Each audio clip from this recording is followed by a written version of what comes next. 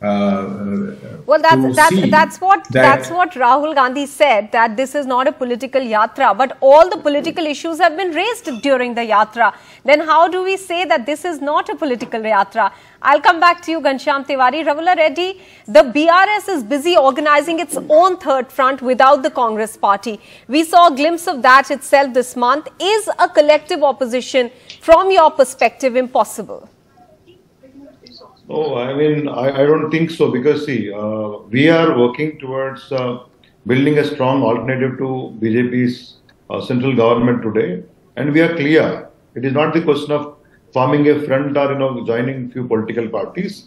It is to create a narrative. It is to put forth a strong alternative development agenda before the nation. And our slogan is objective is clear.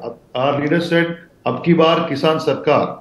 We wanted a government to be formed in the center in 2024, which will be, you know, in favor of helping farmers and farming sector and the poor. And uh, as far as the Bharat Jodo is, uh, Yatra is concerned, uh, it, as uh, was saying, it was a good effort on behalf of Congress party to strengthen their own party.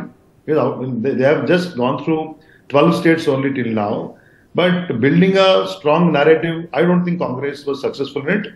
Yes, it, it could have given some energy to Congress party. There is no doubt about it. And uh, Rahul Gandhi was known as a part-time politician, and this gave him, uh, you know, at least this was an example that he could be there for 145 days, walked around 3,970 All right. kilometers. Okay.